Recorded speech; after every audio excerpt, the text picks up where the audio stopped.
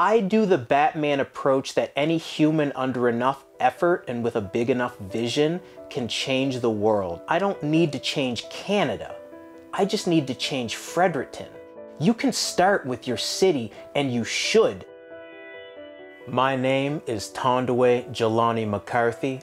I am from Fredericton, New Brunswick, and I am a black change maker. Poetry is a tool of activism, both for myself to reflect and to speak truth to who I want to be, and as a tool to help other people create space, spreading these ideas that we can all kind of think about things and decide for ourselves how we want to act on them. I like to say my grandma raised me brave, not black, and to be able to walk into rooms where no one looks at you, to be able to talk to people who are in different places than you is an act of courage. It's an act of might and strength. To be beloved and mighty, first I have to practice what my name is and live under the standard that those names put on me, and then I can live through them. Activism is a lifestyle.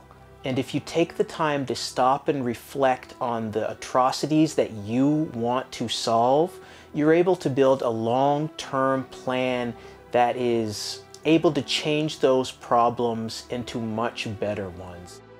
I need to sit with my peppermint tea, listening to soundtrack music. I love Hans Zimmer and just kind of write out my thoughts and process. In order for me to really immerse myself in change and find a direction for us all, I need to think about these things. These are carefully calculated chess moves, and I find people view my successes as something that I can generate without downtime. But the hidden process is it takes a lot of work. You don't get to those diverse realizations without sitting down and contemplating how can everybody win?